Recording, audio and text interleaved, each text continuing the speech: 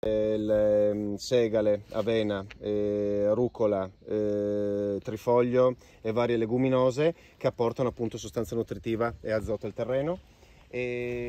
quest'anno purtroppo l'abbiamo dovuto sfalciare prima per una questione di umidità, dopodiché nelle parti ehm, diciamo così, più magre viene interrato, mentre nelle parti diciamo così, più, più, più grasse lo, lo lasciamo in superficie.